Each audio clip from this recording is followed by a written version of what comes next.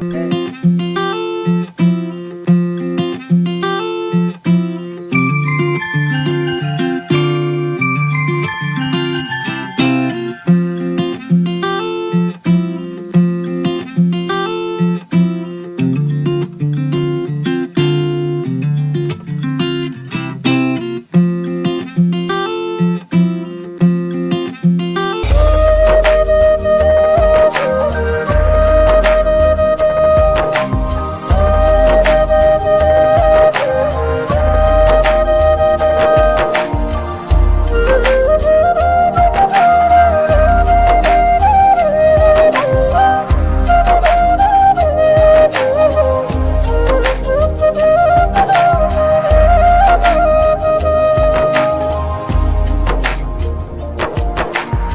भैया जी, अभी इस मंदिर हम यहाँ पे ज़्यादा जो भी बातें हैं, हम यहाँ पे नहीं बता सकते हैं, क्योंकि बहुत ज़्यादा साउंड आ रहा है और इसमें मेरा जो साउंड है, मेरा जो आवाज़ है, वो आप लोगों को साफ़ सुनाई भी नहीं देगा।